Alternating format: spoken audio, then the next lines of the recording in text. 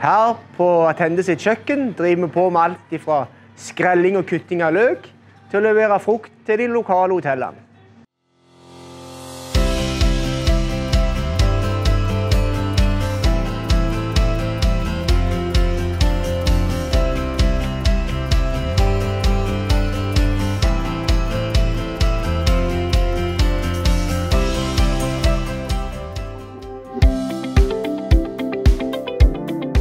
Attende har et nytt og moderne kjøkken. Faglærte kokker og dyktige veiledere tilrettelegger for arbeidstrening i et unikt samspill. Jobben gir god og relevant arbeidstrening, og flere ansatte hospiterer ut i ordinære kjøkken og kantiner.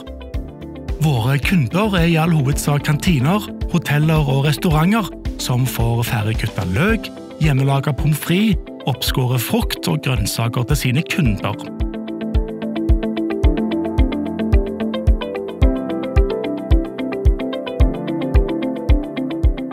Kjøkkenet til Attende gir kundene våre ekstra kapasitet, gode råvarer og bidrar til verdifull arbeidstrening for å få flest mulig ut i ordinære arbeidsliv.